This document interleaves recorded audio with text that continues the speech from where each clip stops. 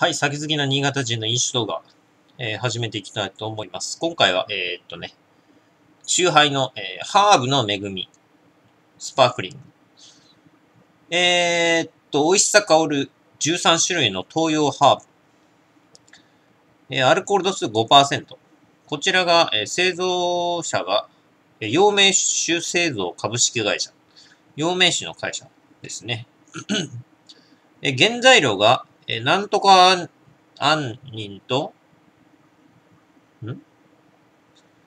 あ、なんとか杏仁、黒文字、高麗人参、三座地、夏目、クコの実、クワの実、ネムノキ、龍眼、クローブ、カルダモン、えーなんとか、かんとか、えーシナモン醸造アルコール、カルバドス、カッコアップルブランデー、えっ、と、糖類、過去オリゴ糖、諸糖、えー酸味料、過去クエン酸、リンゴ酸、酸化防止剤、えー炭酸ガス。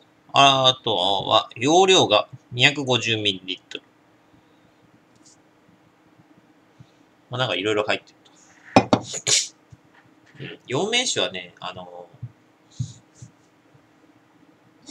あの、甘ったるくて飲む飲めたもんじゃないんで。あれは炭酸で割れ、割るしかないな。マジでの、の、飲める気がしない。あれ一本飲める気がしなくて。で、本当は、母の日に、あの、送ろうと思ったんですけど、あの、あの、母がですね、あの、陽明酒嫌いということで、まあまずいっつってたんで、あれまずいよねって言ってたんで、やめました。それは乾杯。ん？あ、あ、これ陽明酒だ。これ陽明酒の炭酸割りじゃねえのこれ。陽明酒の炭酸割りじゃねえのこれ。あ、ぽいな。ものすごいぽい。ぽいぽいぽいや、これ、完全に。ぽいなこれ大体どこで買ったんだっけなわからん。スーパーだったか。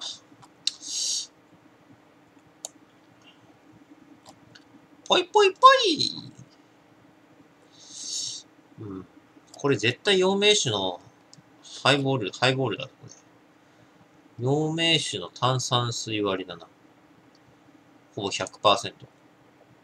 味がまさにそれだ。まあでも陽明酒はな。本当に甘いんだ。あれ甘くなきゃいいんだ。だけど、あの甘いんだ。あの甘さがね、もうあの、ダメなんだわ。うん、俺と、俺としては。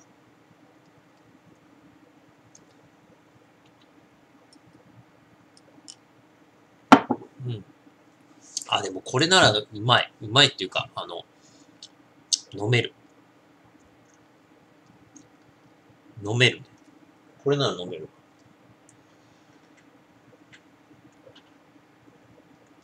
えっ、と、陽明酒と何が違うんだ、これ？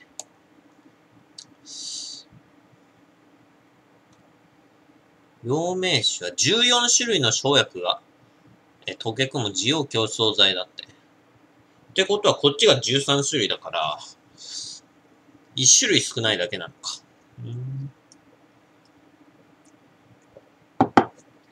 まあ確かにね、冷え性にはよく効くんだわ、これ。本当に。俺の冬の時、あの、これ陽明酒一杯飲んで、寝たんですけど、あの、足がね、もうポッカポカになってね、暑すぎて寝れなかった。足が熱すぎて、なんか寝れなかったっていうことがあって。まあ。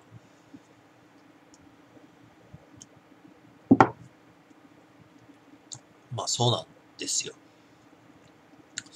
そうだったんで、まあ。まあ飲むときは基本的にやっぱり、炭酸でも割る割った方がいいな。陽明酒は本当にあの、おちょこ一杯みたいな、でいいみたいな言うけど、あれでも飲みたくない、あれ。口が、もう、口がね、あの、拒否する。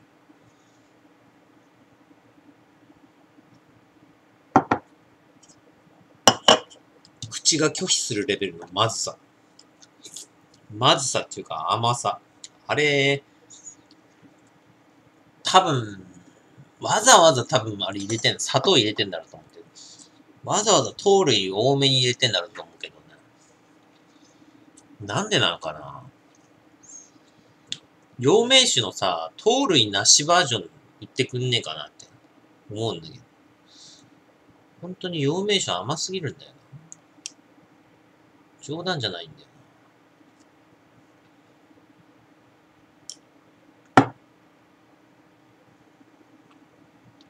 冗談じゃないほど甘いんだよ、これ。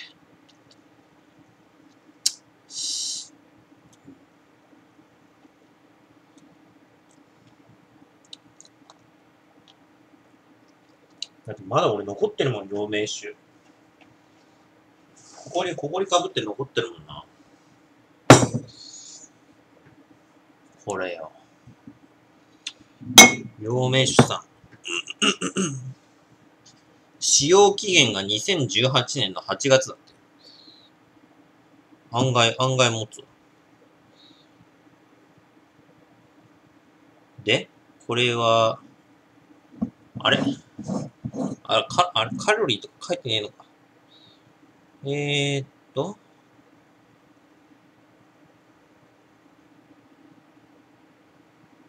あれ？でも、糖類とかって書いてない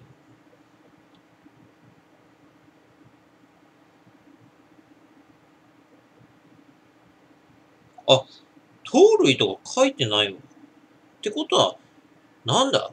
薬の甘さなのか？薬自体が甘みがあるのかな？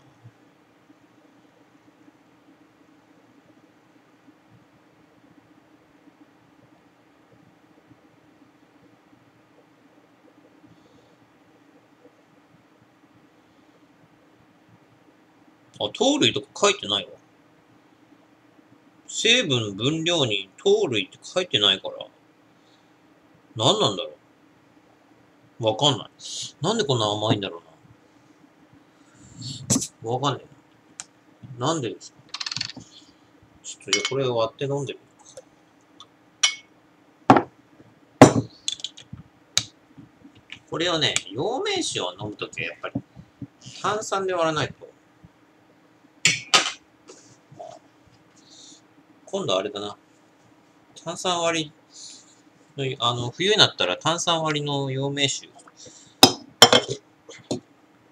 飲もう。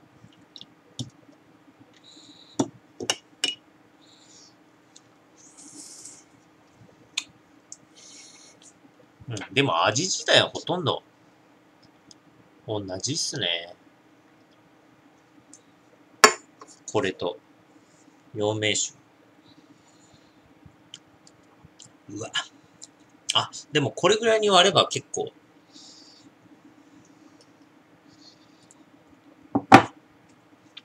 あ、結構飲めるわ。うん。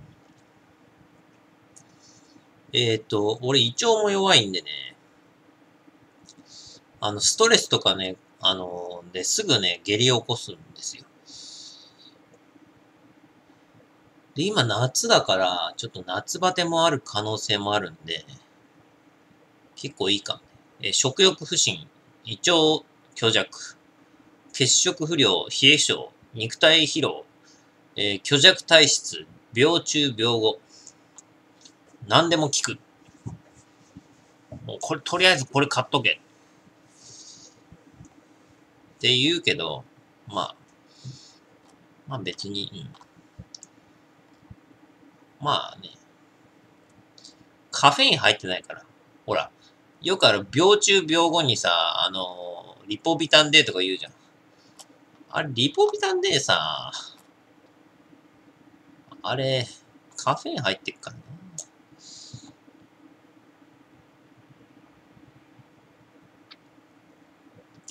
あ、リポビタンデーよかやっぱこっちの方が絶対効くでしょ。陽明酒の方が。ちょっと炭酸で割れば、炭酸水で割れば十分飲めるレベルだね。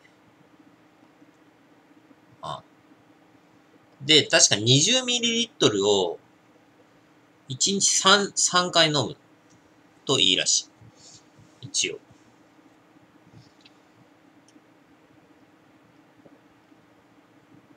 あ、あった。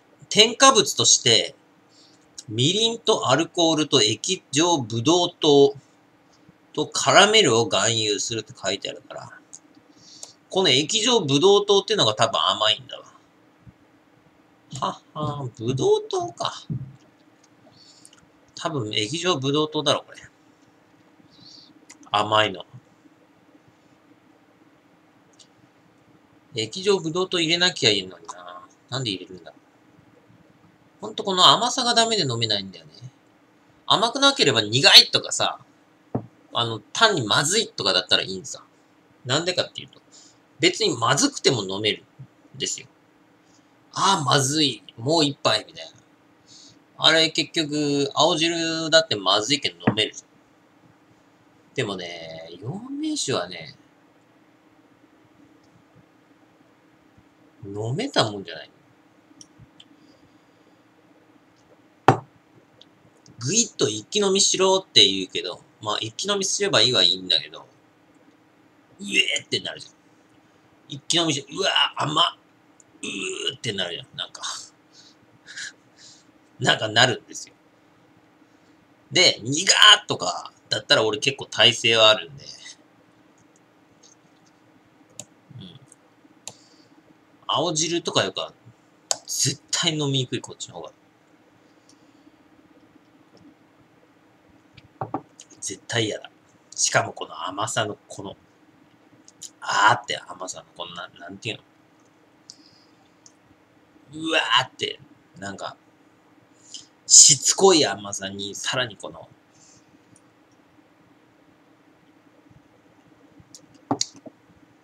甘ったるい甘さの、ね。そんな感じですよ。まあまあまあ。でも、陽明酒は、まあ、これ甘くなければな。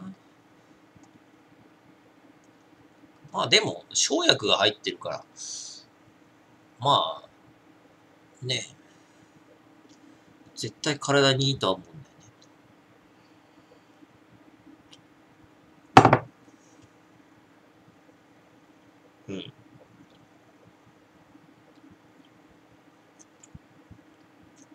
でも、あ、まずい。確かに。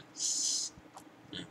まあ、炭酸で割って、もしくはコーラで割って、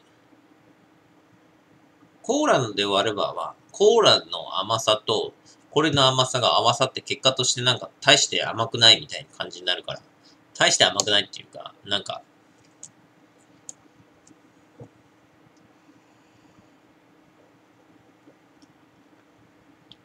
なんていうか、相殺されてなんか、甘さと甘さでなんか、合体して、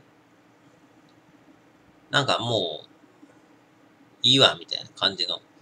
大してね、甘くなんないっていうか、そんなに甘いって感じない。うん、あ、これコーラの甘さだって思って飲むと、コーラで割ると大体多分、いける。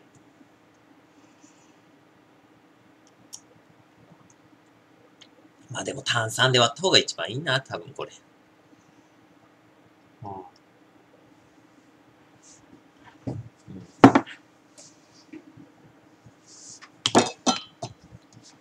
まあ、これは、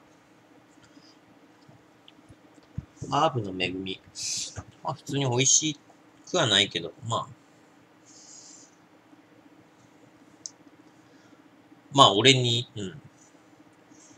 あ、あのー、陽明酒を炭酸水で割ればうまいんだなっていうか、まあ、うまいっていうか飲めるんだなっていうのを教えてくれたことに感謝。で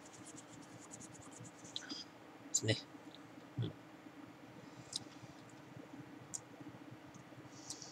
うん、ただし、このこいつ単品で買うことは多分一生ない。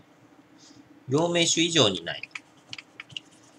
なぜならば、これ買うんだったら陽明酒買った方が100%いいか。いわゆるこれただの陽明酒の炭酸割りだから。えー、4342です。ご視聴ありがとうございました。